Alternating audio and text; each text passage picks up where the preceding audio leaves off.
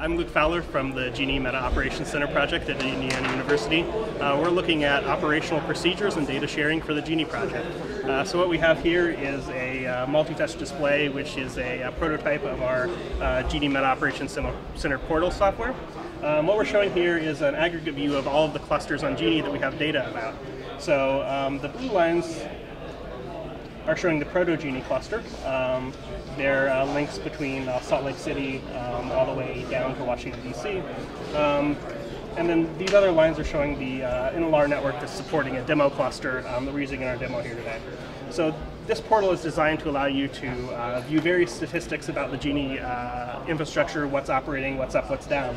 Um, for instance, if we zoom in on one of these nodes here, we can see uh, UT Dallas's Planet Lab nodes. Uh, these are green. That shows that both of the Planet Lab nodes in this location happen to be up at, at this time. Click here and get a list of the nodes. Um, notice that some of these other ones are yellow and red. Uh, the yellow ones indicate that the uh, node is currently half up, so there's one or more uh, nodes in this location the reporting is up.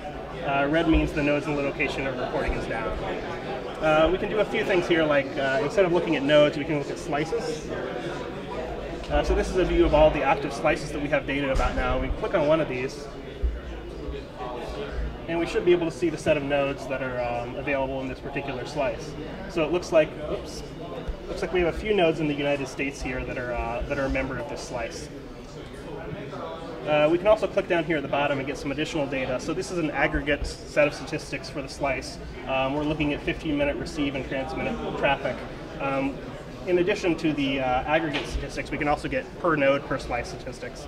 If we go back here to the node list, uh, here we have a, a, list of all the nodes in, in this particular slice, and we can click on one of these uh, and get data for just this particular node. Uh, so this is the per slice, per node view. Uh, in addition to the geographic representation, uh, we do have a logical representation. Uh, not too interesting on this slice because we don't have any uh, connectivity between the nodes to show. Uh, this is just an alternate view of that same data. We do have the capability here of switching between clusters. So we're, we're showing all here. We can switch and say just show Planet Lab. Um, and we'll go back to nodes. And here we have a similar picture, but you notice that all of the tubes that we were showing before are gone, and we're just showing all of the Planet Lab nodes in this case. Uh, we do the same thing, switch to Proto-GENI. You can see we just have their circuits now, or go back to all, uh, and it'll load the data for the whole network.